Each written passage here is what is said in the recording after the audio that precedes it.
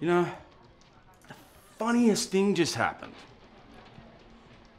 I came in to meet with you, and your secretary insisted that I needed an appointment. Yeah, you're supposed to have one of those before you come in. I don't play by those rules. Can I help you with something?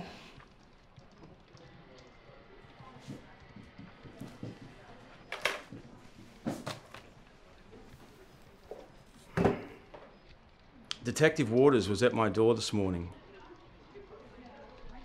Thought I told you to take care of her. Well, I can't stop the police from doing their job.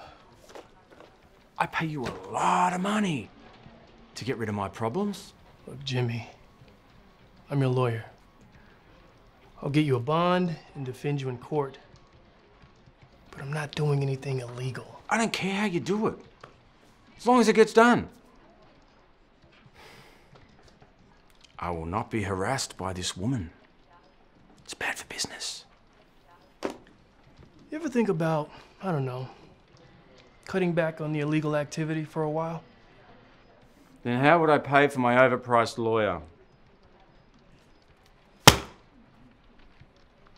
Take care of her.